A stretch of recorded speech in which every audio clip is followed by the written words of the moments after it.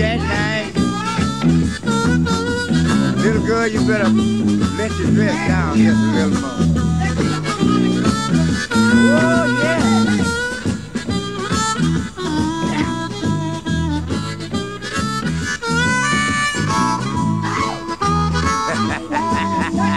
ah.